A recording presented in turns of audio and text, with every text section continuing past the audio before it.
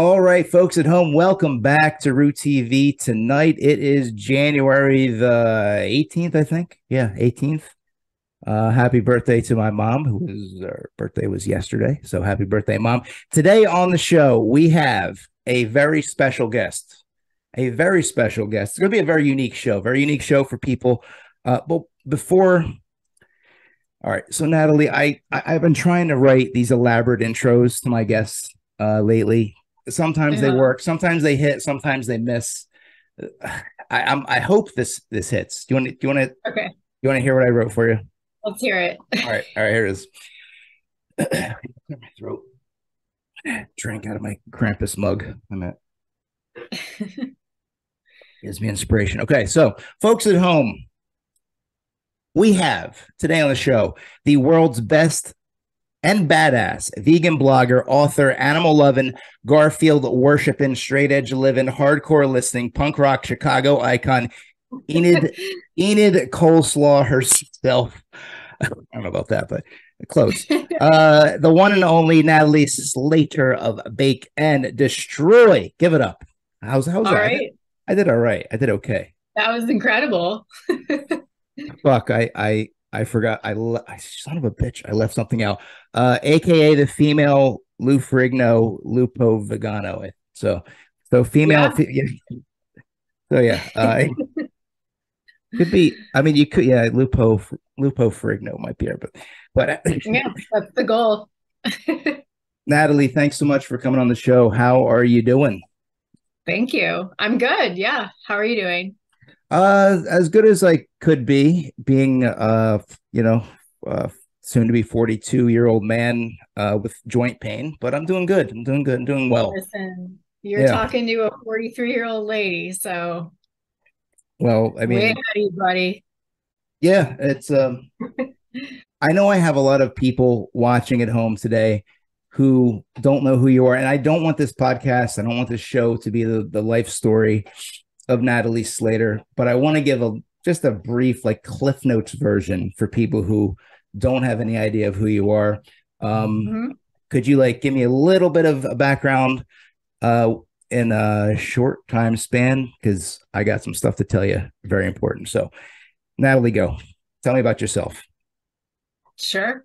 Um, well, most people who do know me know me as a vegan cookbook author and blogger. I've been writing bakeanddestroy.com for 17 years now, almost. Um, and my book came out in 2013. So in vegan years, it's like a, it's like a ancient scroll of veganism now. um, some other folks might know me from maybe having seen me on the WWE CM Punk biography. Um, and yeah, I think those are kind of the two two reasons why anybody might know who the hell I am. But other than that, I'm I live in Chicago and yeah. you know, I work in in vegan food and that's who I am and what I do. So one of the reasons I wanted uh, Natalie on the show is I, I, a few people might know, maybe some close friends of mine have known. I've been trying over the past, God, I want to say year or so, probably over a year. I know my cousin Tyler knows, brother. I've been trying a lot of different vegan foods because honestly, I want to, as a 42, uh, soon to be 42 year old man, to one day aspire to be what Natalie Slater is. And and uh, and you know, it's took taken me this long, uh, and it's kind of mind-boggling because I probably I don't think there's a human on the planet who loves animals more than I do. Maybe, maybe equally, but um, it's something that I I, I always aspire to do. And, and and honestly, over the past year, when I've been trying these different foods in Philadelphia, love the shit out of them and they don't make me feel like crap afterwards. So, Natalie, how long have you? I, I can't remember. I know you maybe mentioned it uh, on social media, but how long have you yourself been vegan? Um, I it's easy for me to keep track actually because I became vegan the year 2000. So it's a nice Okay, round okay. number. Okay. I can, Okay. I can do easy math. Well, that's what one of the things I was going to tell you is because I'm pretty sure if my my research is correct, we both come from Italian families with people shoving meat like meatballs and sausage and peppers down our like you know uh, like like nonstop. So was there when when when that happened in 2000 was there like a little bit of shock and like oh you don't you don't want you don't want this what what's your this like I don't know or were your was your was your family kind of cool with it? Um, I think there was like a generation gap with how Yeah. how um how much it was understood. Like my grandparents Yeah. didn't understand at all what I was doing or why. Mhm. And even this many years in, my grandma she accepts it. I won't Right. say she understands it. Um, but she still doesn't quite like she'll she'll say things to me like you can have some of this. You eat lamb, right? I'm like, yeah, I'm I'm vegan except I eat lamb. It's the one thing. um but actually it's it's getting easier and easier because more members of my family have become vegan or vegetarian over the years. So now you know, I've got a vegan cousin, I have a vegan sister-in-law, my mom's a vegetarian, so it's like Yeah. The more of us there are, the more everybody kind of just accepts it. I I did luck out that my mom, you know, my whole life my mom was like a healthy person, a healthy and active person. So we really didn't eat we ate meat for sure, but we weren't like the kind of family that it was like a big obsession. Like we Mhm. actually ate mostly like chicken and fish and kind of like the healthier meats, you know? So Yeah. it wasn't that big of a deal. She didn't take it personally at all. She just kind of was like, uh, okay, but you have to cook your own food. Like that was that was that right, right. conversation. Um, so I'm lucky because I do know I know people from all different cultural backgrounds that not only, you know, did their families feel kind of betrayed, but they also felt like, am I gonna have to give up part of who I am now because I'm not being I can't eat my family foods and the things that I grew up on and and like I mean luckily the age we're in now it's like you can veganize anything. There's Yeah. really no like no limit anymore. Um so that's amazing, but I I know it's it's more of a struggle for other people than it was for me.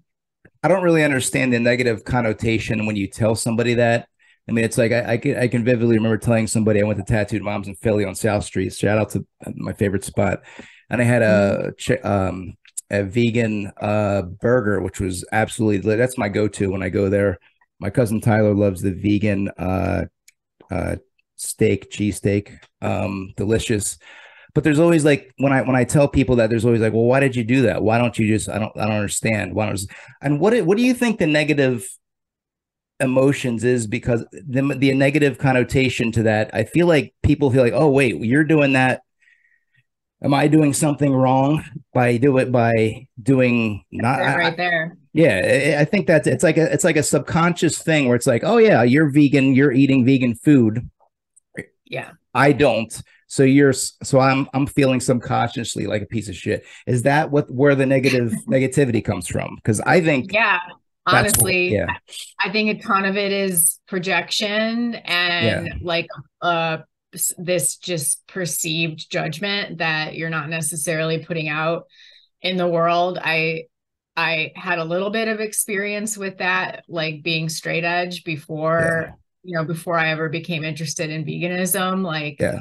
even at a young age when people hear that they're like they take what you're doing as a reflection of like what you think of them yeah and then with veganism, I mean, it's a hundred percent of the time. Anybody who's ever come at me negatively about it, it's all about what they assume I think about them.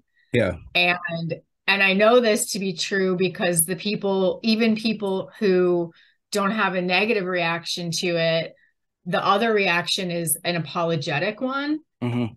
you know, like people will say, "Oh, that's really great. Uh, Yeah, I wish I could do that. You know, I only eat a little bit of meat. Like I don't really eat that much dairy." You know, like Mhm. they like want to they almost apologize and it's like I didn't ask for any of this. Like I'm just yeah.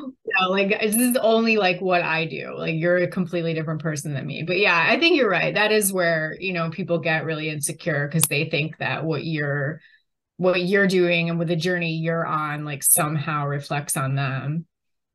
Yeah, it's it's it's strange the reactions that it gets. And I and like I said, I haven't totally uh committed to that yet, but I've even felt I've felt that from just telling people I had a, a vegan burger like once. I'm like, whoa, why did why did you eat that? I'm like, oh geez, okay, well, I don't know. I wanted to, I want to try something and I would rather not feel like shit afterward. I don't think there's ever I don't think there's ever been a human being in history who has eaten a steak or a Big Mac and has felt awesome afterwards. they've usually they've, they've usually I think nine times. Well, no, no. You know what? I'm gonna I'm gonna say 10 times out of 10 you feel like garbage after so yeah i mean if you want to break it down to that uh, the, the main issue aside which is I fucking love animals and i love more than most people but um that uh you know it's just it's easy to explain to people but going yeah. off of but going off of that though um i did say you know i i am not vegan but for somebody like me watching right now and myself. Um, what do you suggest? I mean, this is something. This is one of the things I I told you about in the initial email. How do you suggest someone like me go about this? Do you suggest someone do it cold turkey? Do you think you should? Pardon the pun. Do you think someone should uh, uh, do it in stages? Like, what do you? What is your advice to someone who is interested in in in potentially doing that but doesn't know how to go about it? Yeah, that's a good question. Well, I mean, first of all, um wanting to wanting to become vegan or yeah. vegetarian, either yeah. one is the biggest and hardest step and the one that most people don't take. Most people it doesn't cross their mind. I want to mm-hmm. make this huge change in my life. So the fact that you're even thinking about it yeah is like you've taken an enormous leap into what it takes. And to answer your question directly, I always advise people to baby step into it. You right. know, whether and depending on you know who you are and what you eat like and how much you cook and like there are a lot of different variables on how much you need to baby step but i don't think there's a person in the world who i would say just go cold turkey go from eating yeah. everything to excluding like tons of stuff that you're used to and trying right. all these new foods. Like i really wouldn't suggest that to anybody. Right. the way i did it was you know i uh i went vegetarian first and even that i kind of you know i first decided like oh I, I couldn't eat another i couldn't eat a pig. Pigs are the coolest. Mm-hmm. like i don't want to eat a pig. Stopped eating pork. A couple days later like uh maybe I don't want to eat a cow, you know, and I just like kind of kept going through it until like a few weeks in, I was like, all right, no, no animals, no fish, like mm-hmm. I'm done.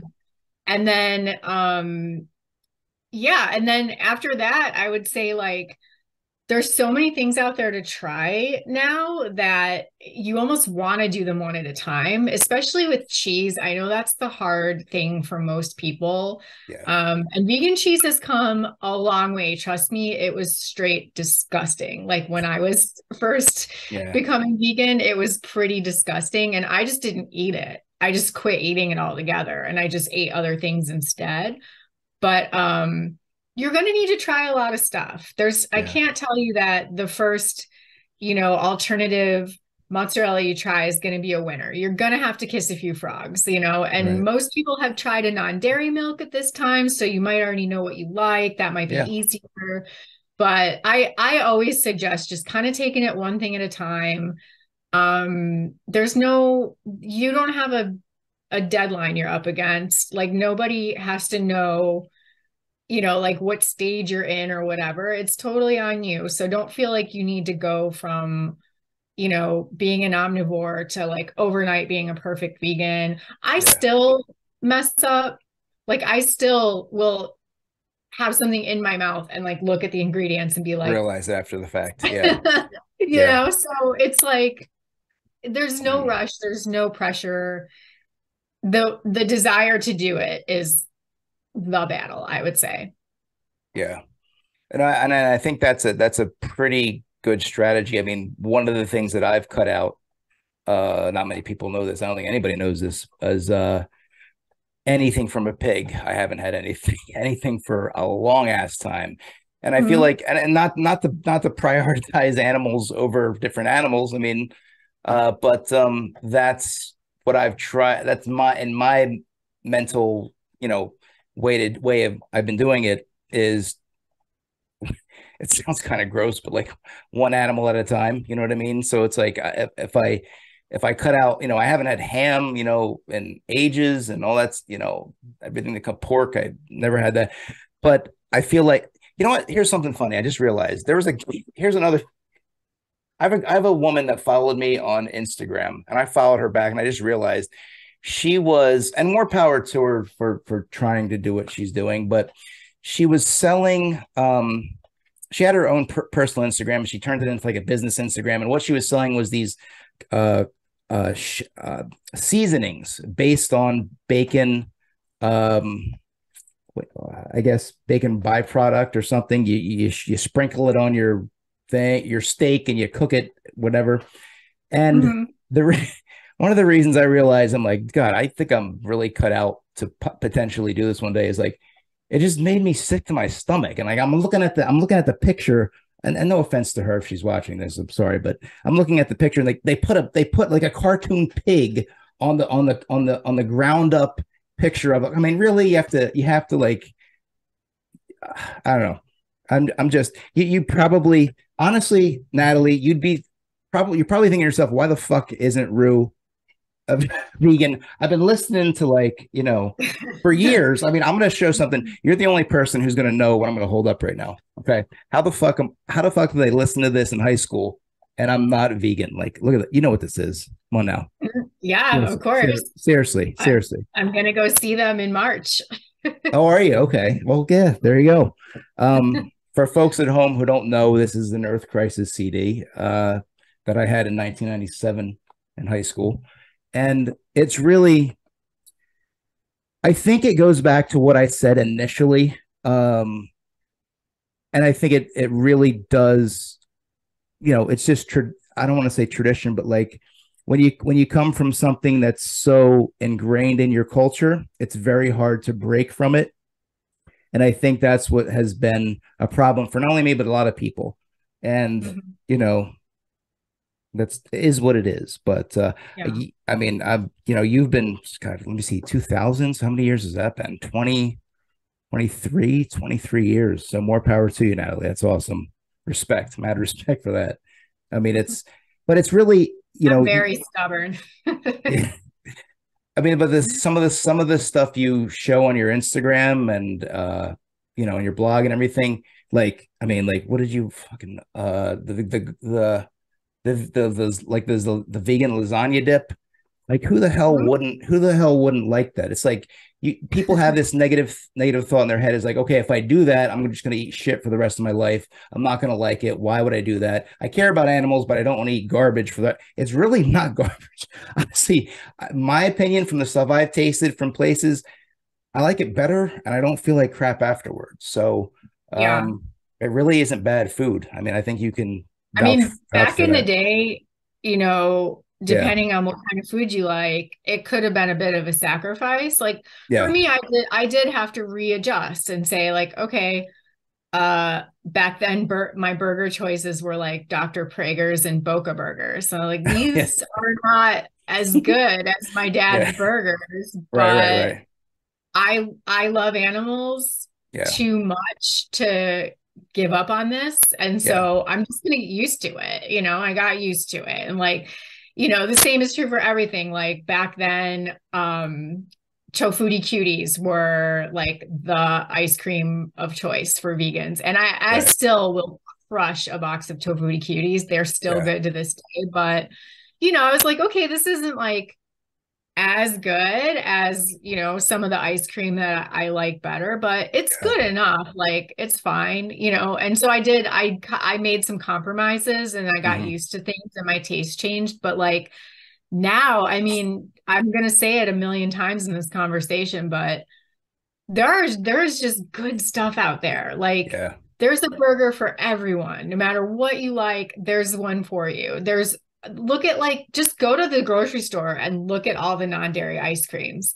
You're yeah. gonna find something you like in there. So yeah, sure. Yeah. you know the compromises are few and far between these days. And the the part with your family and your culture it, it's tough and i'm not going to pretend like it's not but they get used to it. You find ways to fit in. Like you know yeah. for a long time i would just bring tons of food with me to family gatherings. Like I'd veganize my mom's recipe. My grandma helped me veganize her spaghetti sauce for my cookbook. Like yeah. I would just bring my own stuff so I could still be eating what everybody was eating and fit in. And like over the years, people started trying things. And like now, you know, my sister hosts a vegan Thanksgiving at her mm-hmm. non-vegan home because all her kids like it. My mom like everybody's cool with it. So it just takes time and you know, but it's it doesn't have to be that hard.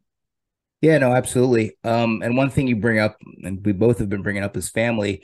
And I had a question for you. Um, was, you know, I'm single right now, but I know you're married with Tony. Uh, to to, to Tony. Was Tony, uh, you was Tony vegan when you guys met, or did he kind of convert to that after the fact? Um, was yeah, Tony, about.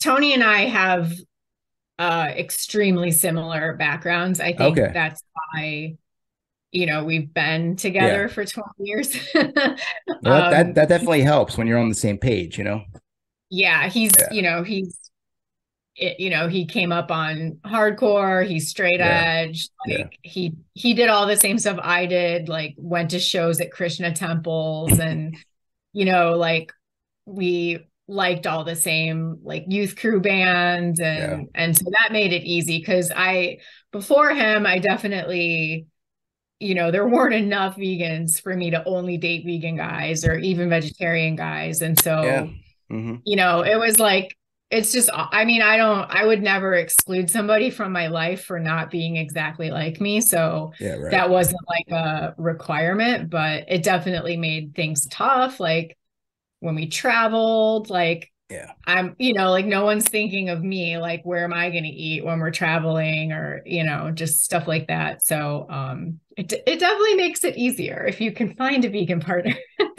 But yeah, if sure. not like somebody that's open to it or like is is cool with like you know you pick a restaurant this weekend i'll pick one next weekend like you know as long as you don't end up with somebody who's just like gonna find ways yeah. to sabotage you or not i don't know how anybody could like be with someone who doesn't like animals.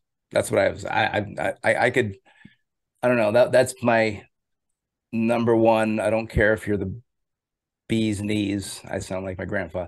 Uh, but if you don't like animal, if, if you don't respect or love animals, I can't work with like no. Sorry. Yeah. Hard pass. I mean, so. compassion for animals yeah. is you know a pretty like yeah. I would say it's pretty standard. Like you have you if you're not compassionate about animals, like that says a lot.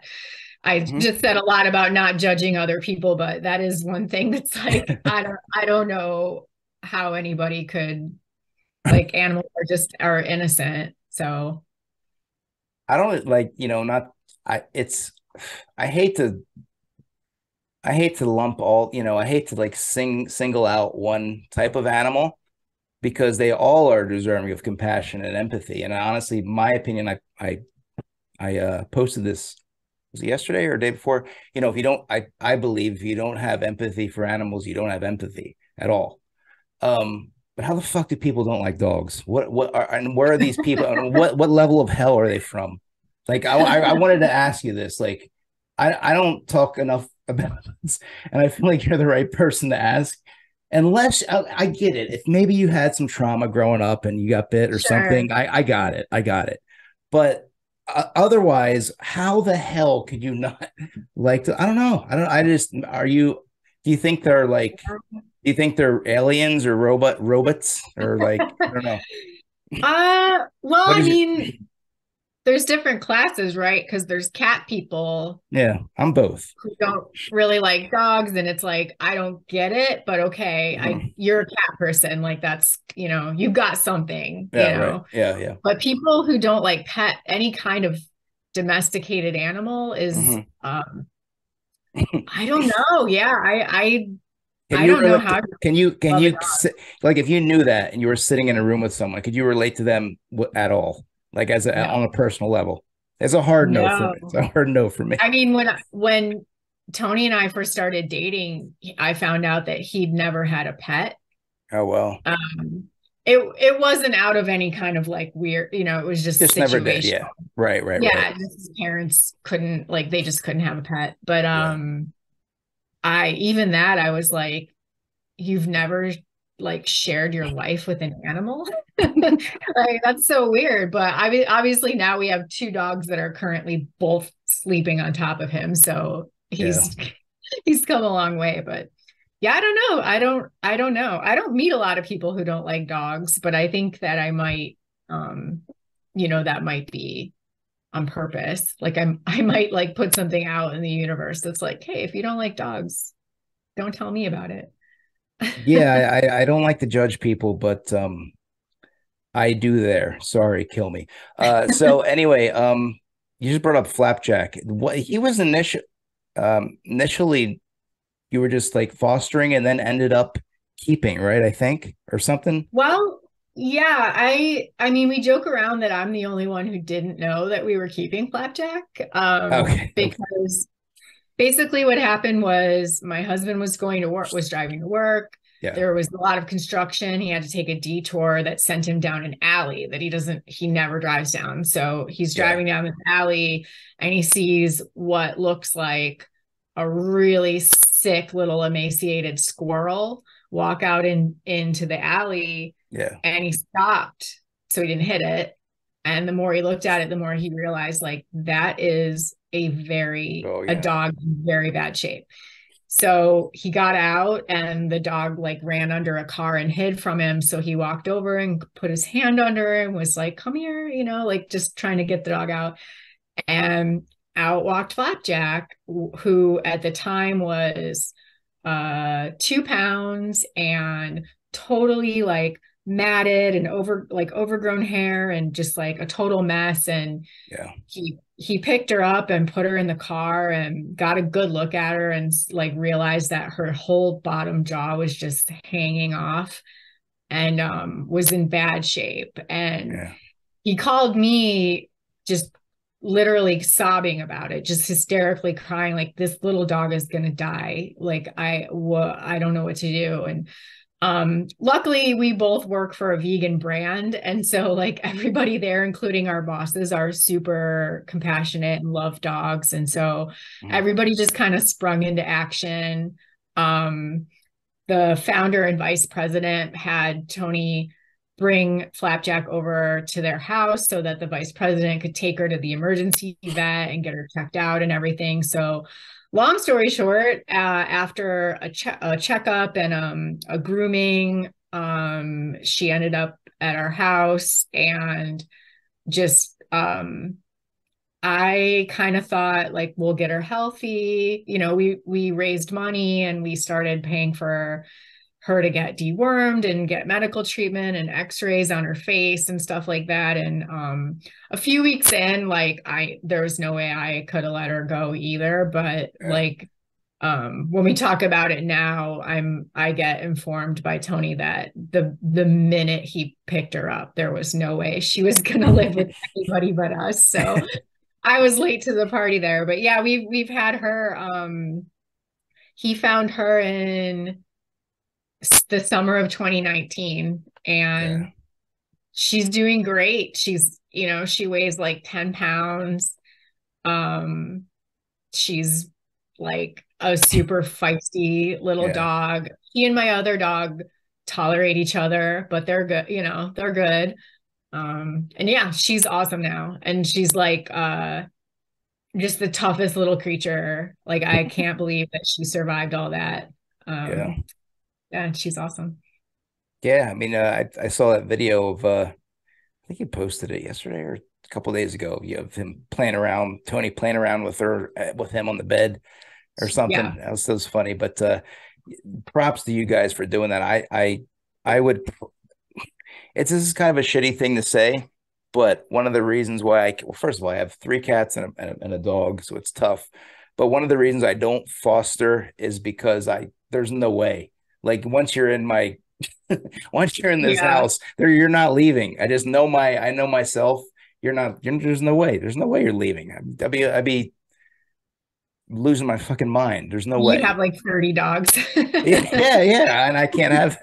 I, just, I would have to quit yeah. my job, quit my job, and and be broke. No, so. I have so much respect for fosters now, just because it's a it's a really tough. That's a tough job to just care for animals that are like the most in need, and then to be able to mm-hmm. let them go onto a you know their permanent family like that would be that would be super tough. And obviously, I would also be bad at that because now I have two dogs. So yeah, yeah, it'd be it'd be super tough. I don't know how people do, but more power to people who do do it. Uh, shout out to uh, there's PAWS in Philly, uh, PAWS in Philly, PAWS Chicago too, of course. Mm-hmm. So uh, yeah, those those those people are saints, and uh, and uh, mad respect for them. But uh, I want to change the subject shift the gears, Natalie, uh, okay. because we have a we have a mutual love of a of a certain movie. I'm gonna hold this up for you. You might you might get slightly jealous. I don't know, maybe. I I met this human being uh, last March in Cherry Hill, New Jersey, and uh, she was super sweet and and so nice to me. And I think you might know what movie this is from. We'll find out yeah. in a second we might know what movie this is from. Oh, did you meet Thora Birch? yes, I met Thora Birch. And if you get folks at home, if you can read that, it says, Rue, you're the opposite of everything I truly hate. XOXO nice. Thora Birch. So yeah, so Natalie and I love uh the movie slash comic book, you know, by Daniel Clowes Ghost World. Um I it's I've gone on record by saying it's my favorite movie. I want to talk a little bit about it. Uh can you tell us why you dig the movie so much and what what what are your what are your thoughts of Ghost World? Because I don't meet too many people who love the movie just like I do. So yeah, um, that movie just like reached inside me and hmm. touched like just touched my heart and soul. Like after I saw I saw it in the theater and I was so affected by it, I just like stayed in my room for the whole next day. day. Yeah. yeah. Uh, I think. I mean, I'm actually super interested to hear what what you know what about it you love so much because for me i'd never seen you know the the teenage girl experience like portrayed so realistically and mm-hmm. female characters just like and a female friendship really shown so well and so realistically especially at the time when it came out like yeah. even now i don't really think there i i couldn't think of another movie that has done as good of or better of a job of either of those things but um and the and to be written by a man is like mind-blowing too yeah. but um yeah i just i related so much to really I mean, both characters, but like just being sort of this like all at once like overachiever and slacker yeah. and you know just kind of feeling like nobody understands you and no like everybody's giving you a hard time and everything you do is you you're just fucking up every time you try to do anything and yeah um I related to that so much. I just like couldn't I I couldn't believe what that I was seeing it like in front of my face. And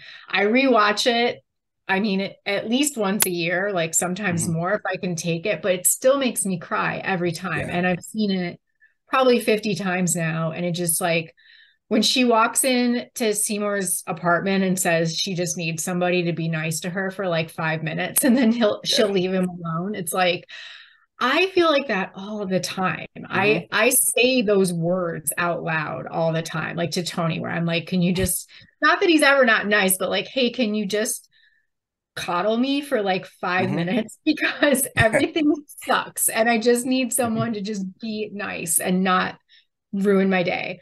Um so yeah, I don't know. I it just like it was like an emotional experience for me. I really I love that movie so much. What about you? it took me it took me about the second viewing to really sink in because initially the reason why I saw it and I didn't see it in theaters. I got it uh, on DVD probably a year a year maybe less than a year after that because I really love Steve Buscemi and he was my you know I, I just anything Steve Buscemi does is is is I just love. But I ended up loving the movie for different reasons. Um, you know, after I saw it, and like you, I would say upwards of 50 or 60 times. And at least once a year, I watch it. And one of the weird things about it is that people say, including you, because you just said it, um, I don't think, in my opinion, it, and you know what? I shouldn't say I don't think. I don't think it's just relevant to teenage girls' experience growing up. I think it's a microcosm of a lot of people who are outcasts uh, growing up. And for me, I related to, well, not only Seymour, Enid, Enid and Seymour are kind of similar in the sense that they are both outcasts um, and kind of can't find their place in the world. And I just related it, I just related to, I mean, even though I am a guy, I related to Enid's ongoing struggle of not only fitting in and everything going wrong, but people always in life nothing really ever stays the same and no one ever really uh, is there all the time and it was just like that scene if you notice um, on the park bench with the old man where you know mm-hmm. she she vocalizes why she likes him so much is because everyone around her is leaving everything around her is changing yet he is always there you know, and funny enough, as they wrote it, you know, he in the end did get did actually leave. Uh, right. So I I I found it to be touching for the sim for similar reasons. Um, you know, I was always I was an outcast in high school. Uh, you know, young adult life. I've always felt certain similar feelings as Enid. Uh, growing up a punk rock kid and kind of just not finding my way and people in and out of your life constantly. Um, that it was it was a it was a it really uh, touched home with me, and I felt that it was something. Uh, how can I explain it? It's just like it's like a micro. I, I used that word before, but it's almost the movie itself for me anyway i can't speak for anybody else watching this but for me it's almost like a microcosm of young adult life i'm 42 mm. I'm, I'm almost be 42 in march but for my young adult life that's what i that's what i felt like despite the fact that i am not i'm not a female but i felt sure. like that i felt the same way you did okay so that's that's why i love it so much on top of that i think it's i love dark humor and it's hilarious in, in yeah. certain certain aspects anyway but um yeah. So I think that's a good point. I guess I yeah. hadn't thought about it that um you could still watch the movie as an outcast yeah. and like your gender identity doesn't necessarily like yeah. mean anything. I think I think for me the reason I did bring that in is just because um like female friendships are for some reason really hard for Hollywood to capture. It's either like yeah. it's like always like one extreme mm-hmm. or another. It's either just Generic. like we're just like backstabbing, like talking yeah. behind each other's backs, or it's just or it's just like this Thelma and Louise just like I would die for you. You're perfect. Everything you do is amazing. I love you. And it's right. like, no, like Ugh. we're people. It's mm-hmm. complicated. Like it you know, you can be, I get disappointed in my friends. Um, I support them no matter what they, you know, no matter what, like I'm there for them, but I get disappointed when they make bad choices. I get mad at them when I feel like they don't do the same for me, you know, that I'm doing for them or like we're yeah. we're complicated. It's not it's not like so the two ways that it always gets depicted. So I thought that friendship was like really interesting and really realistic. And you do, that's an age where no matter who you are, wh- wh- however you identify, like, yeah, you do start to kind of grow away from some of your friends and that can be really heartbreaking like somebody that's been in your life since you were 12 and then all of a sudden you're adults and you're kind of like I don't really know you or I don't we don't have the same goals anymore. And you do you grow apart and those people leave your life and it can be it's it's really hard. That mm-hmm. that age is like yeah. It's so hard. So I I think seeing it like so beautifully depicted and with so much humor and so many people that I just love watching. Like I also love Steve Buscemi and like yeah. I love um you know this is a unique role for Thora Birch but I I thought she was incredible like I mean I could give her take Scarlett Johansson like for the rest of her career really yeah, I, I she really... was amazing in Ghost World right yeah yeah I haven't really followed much of her other work, but that's yeah. neither neither here nor there. So I think most people that that are fans of her work probably have never even seen Ghost World, and they'd probably think mm-hmm. it's like really weird and boring if they did.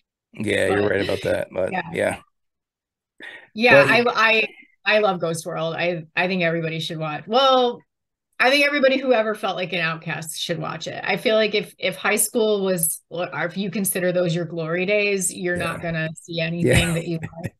You're not gonna you're not yeah it's not gonna not gonna work for you. You will be made fun of in this movie. Yes. Yes absolutely. But uh but she was you know when i met her she was i i, expressed similar sentiments to her and she was uh couldn't be nicer. Uh she was just turned that day that i met her was her 40th birthday so she was turning 40 that day so uh yeah very nice uh nice human being. Uh, i want to also bring up natalie. Um one thing that you've been speaking of we just you know Thora turned 40 uh we are considered we are older than that. Um, i'll be 42 in in in, uh, in march.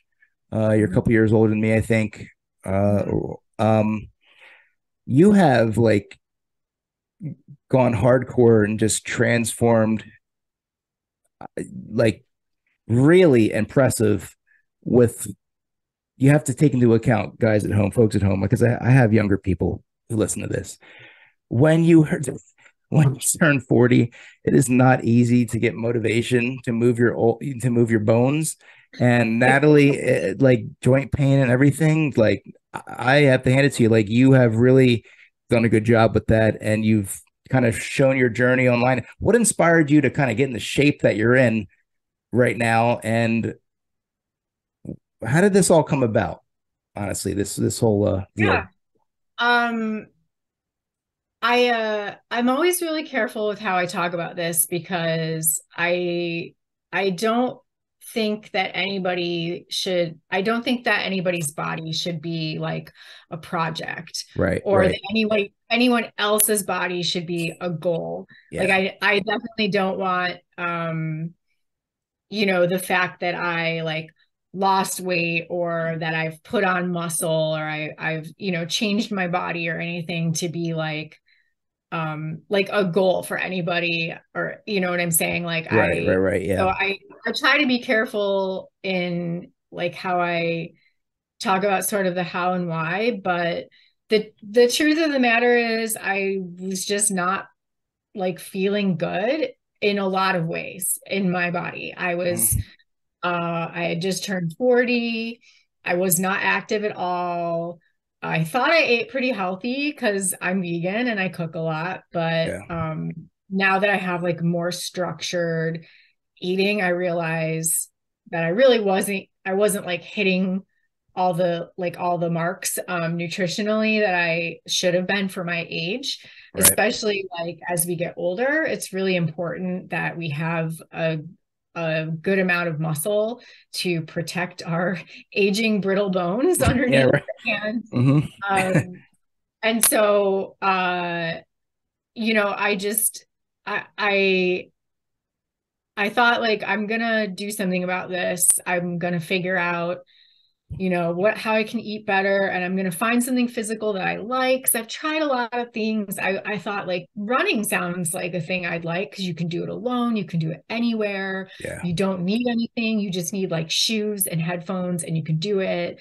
Right. And I just didn't like it. Like physically, did not enjoy doing it.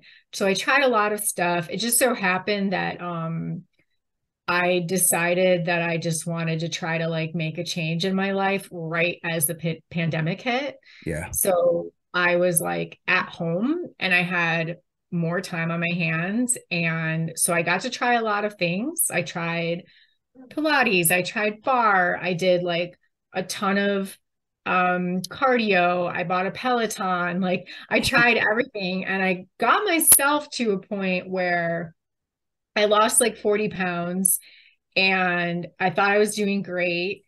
And this person reached out to me on social media in March, and her name's Belinda. And she was like, Hey, I'm a vegan fitness coach and nutritionist. And I never knew that you were like into fitness at all because it's not something I, I was like sharing Yeah. really. Um, but I that I just happened to post a picture one day of me doing like um goblet squats with my dogs in my arms Right. and she was like i didn't know that you were a gym person like if you're ever looking for a coach like i'd love to work with you um and i had not considered working with a coach at all uh because i'm pretty stubborn i don't like anybody to tell me what to do and um but i thought like I've gotten this far on my own. I wonder what else I could do. So I started working with her right away um you know we do like a baseline week and she you know i'd send her like everything i ate all my activities like you really just expose like your life to this person Yeah. and um you know she was like i was in like a like a pretty long-term calorie deficit uh and i was not eating very much Mhm. And um and i was just doing cardio i was doing like 45 minutes of cardio and maybe like 15 minutes of strength training and so i'd gotten like skinny but i wasn't really fit and i wasn't Yeah. strong and it was like not really what i wanted and so we spent months just getting me to a point where i was eating enough Right. um, like it took months to get from 1600 calories to 1800 to where it was like okay now you're you're consuming enough food that you can start to build muscle Yeah. and so that was like the hard part really was just like letting go of all the things i thought i knew about food and like letting someone else show me and teach me and then once i got to that point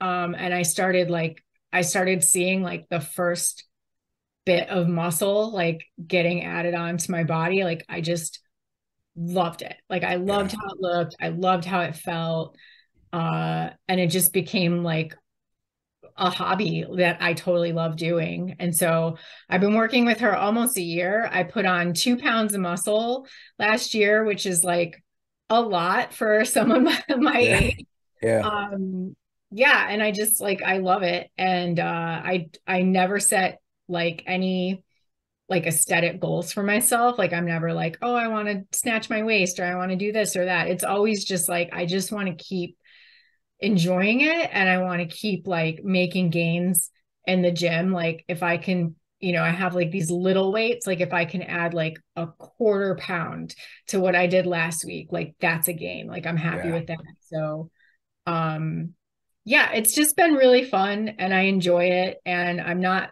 i'm not diet dieting and i'm not like depriving myself of anything i'm eating more than i've ever eaten in my life 'Cause you're, um, bur- you're burning more, so you're more hungry. You're hungrier. Yeah. yeah and it's like and i'm it's only going to keep going up like my coach is we're the, we're like the same height and the same weight Yeah. she's a she's a competitive bodybuilder she competes in the bikini category Mhm. um she eats like 3000 calories a day so you know it's like it's just i'm just gonna keep it's just gonna keep going. Like i don't know. I i do have some like i definitely have some people that i really look up to with what they've been able to do. A lot of them are younger than me so i have to be realistic about like what i can actually do at my age but it's just been really fun. Um i feel great. Like i i had like so many issues before like yeah. digestive issues mm-hmm just because I wasn't eating, it wasn't planned at all. Like my right. meals sometimes be three hours apart, sometimes nine hours apart. Like, you know, sometimes it would be, you know, like a ton of like Gardein and field roast and whatever products. And sometimes it, you know, so it's like yeah. now that it's like a lot of the same stuff on a schedule, like I'm hitting certain macros, like it's just very organized for me and I really like it. Um, so I've just I felt it's been great. I felt great. Are you a coffee drinker? Yeah.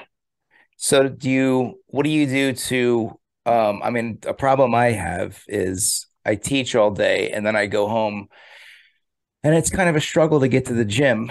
Uh so, you know, I have to drink coffee late to get my ass up. Uh, do you have any like certain energy drinks, pre workouts, or anything, or do you just drink coffee to get to get motivated, um, or, or do you not do anything and you're just up and you do it? Yeah, I mean, I I lucked out with my schedule um, because I work from home, so yeah. I get up early and I get like I get everybody out the door. right, right, right. So you I do it then, right yeah, yeah, yeah. Right, so perfect, I do yeah. it first. Um, a couple times, like once in a while, I have to adjust. Like yesterday, I had to do something early, so I went to the gym after. Yeah. Um, and it did it did like throw everything off for me. So I get I get how that, you know, like I'd already eaten three meals and a snack and like had coffee in the morning, worked yeah. all day, and then got home and like went to the gym. And so like it it, it is off. Um there definitely are like uh pre-workout um you know like mixes that you can get that have yeah caffeine in them or have like a caffeine alternative in them if you just yeah. need a little bit of an energy boost but one thing my coach always makes sure i do is um make sure she always has me eat something high protein like as soon as i'm done working out so right after yeah to recover yeah even if it's just you just have a bar or like something on you just to um because that's like when you're building muscle and everything um but yeah, I I my schedule made it a little easy on me, but yeah, I've never tried any of the any of the drinks that have caffeine in them. I I just drink like a like a BCAA drink when I'm yeah heading out. Right, right. Well, if anybody uh, at home is watching this and wants to follow Natalie on her uh, uh, buff journey, you can follow her at I think it's what is it Lupo underscore Vegano or something. I think right. What is uh, it? Dot, yeah. Uh, dot. dot Vegano. Yeah, I'll, I'll, put all that shit in the description. So if you want to follow her and check out all all the uh all the uh all the gains and whatnot with the with the um gym tofu laundry and all that shit. So right. but uh, and my coach is Italian, so okay, okay, yeah, yeah. It's uh, it's uh, yeah. So we um so we got to get out of here pretty soon. We're coming up on the hour, Natalie. But uh, I'd be remiss uh to give a shout out to you know you're probably saying like, well, Rue, how did you even how did you even discover Natalie in the first place? She made mention uh of him earlier on, but uh shout out to Punk uh because had he not promoted Bake and Destroy years ago, probably Natalie probably wouldn't have been be sitting here right now. So uh, shout out to you, Punk. And I think it's admirable, honestly, because uh, I know you guys dated years ago, that you can still be friends with people after the fact. And I, I don't know, some people don't understand that that you can still be friends if if if it doesn't end or awfully. Uh, you can still be friends. Way with better friends than yeah. we were a couple. yeah, and you know I'm I friends with my exes too, so it's it's it's it is possible, ladies and gentlemen, people at home, folks at oh, home. Oh, yeah watching do that. But uh uh so let me see if there's anything else I forgot to ask you. I think I got I think I covered everything. I think we covered everything. Um let me see. Oh, okay, who is okay, I got a good one here. He he might hate me for this, but um all right. Who is who is in 2023? Who is more punk rock? Is it Natalie Slater or her son Tino Slater? Oh boy. uh if you don't want to, if he, if he if he doesn't approve, if he doesn't approve of us talking, then I will do an alt edit on this. No, no, it's cool. Um, Tino doesn't care yeah. what anybody thinks. Yeah. He he's a lot more punk than me because I, yeah. you know, I care like I care what other people think. I, you know, um definitely can't keep myself off social media. he's not on it. He's not interested. Yeah. He's like, he does his own thing. He's been into what he's into since he was like three years old. Yeah. Um, yeah, he's a he's definitely like a radical individual, like much more, much more of an of an individual than I am for sure. How, how how old is he now? He'll be 17 in March. Oh my god, that is that is wow. It's crazy. Life mm-hmm. goes life life goes by. Yeah, there's a lot of people who um have been follow you know following along with me since he was little. So yeah. it's like wild for people to see the very rare, rare photo of him and see that he's like six feet tall and has a mustache. so yeah, it's always it's always uh shocking when you see that. You know, I got but uh, before we get out of here, I want to plug uh, something you just recently did uh, and sent out to people uh, the Grind for Life Cancer Zine. Tell us a little bit about that, and also tell us about why the post office sucks and they're the new DMV. Oh man, I could. Oh god, post office. So this is um, this is the last rant of the night. So yeah, I could really just Kermit arms about that all night long. Um, yeah, the the zine that I put out is uh so for a, a, little more than 10 years I've been fundraising for a nonprofit called Grind for Life. They're um, they were founded by a skateboarder named Mike Rogers, who is a two-time cancer survivor. And what they do is um, they provide financial assistance to folks that have cancer and their families, primarily to cover expenses related to um, travel, uh, but also other just kind of like things that come up. Um, the the yeah. thing that you know, if you've never had somebody close to you with cancer, you might not think about like life doesn't stop you know you still have to pay your bills you still have to buy groceries yeah. there are there's a lot of driving sometimes there's a lot of flying. You have to take a lot of days off work, um, either as the person being treated or as their primary caregiver. Like if it's your husband, like you're taking time off work, you're driving him to the hospital, you know, you have a now you have a single income and you still have to pay your mortgage and all these other things. So they help out with expenses like that um, that are not like super sexy, but that are really yeah. important. And um, additionally, they put on like a lot of um, skate competitions and uh, things like that, just kind of community building stuff. And it's like a great way to um, just get the message out there that nobody going through this is going through it alone. And there's like a whole community of people out there who care and, and want to help. So I first found out about them because they helped a friend of mine who had cancer when he decided to um, stop getting treated and basically go spend the rest of his days at his parents' house. He had to move from Chicago to Seattle yeah. and they helped pay for that. Um, so after he passed away, his friends had a fundraiser. Part of the proceeds went to Grind for Life because they'd helped him. And that's when I first heard about what they did. And it, it just really touched me. So I've been fundraising for them. I used to always just do like a birthday fundraiser. It was a pretty straight, like, hey, it's my birthday, donate to Grind for Life right. type thing. And right. um, this last this last year, I just thought like it'd be fun to do something that all the people who donate, because I've raised like almost, I think now it's more than twenty five thousand dollars over the years. Oh, and wow all of that money is from my friends, my family, people that follow me on social media. And, yeah. you know, they all give it because they want to give it. But I thought this year would be fun if when you gave something that you had something to show for it. Yeah. Uh, so I, I wanted to put together a zine. I grew up reading zines. every hardcore show had a table of like where girls were selling like zines about you know vegan food or you know interviews or whatever. So i've always loved them. I've never made one.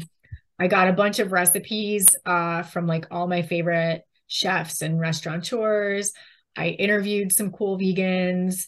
Um, people contributed artwork and it all came together in like an almost 60 page zine. And I actually wrote the check today and I ended up raising 20 a little over $2300 from zine sales. Awesome. And then on my birthday too I had just like a separate yeah um, fundraiser and that raised a little more than $2000. So like all in uh you know more than $4000 this year and I'm I'm just going to keep doing it every year. I don't know if I'm going to keep doing the zine or if I'll think of something else but yeah.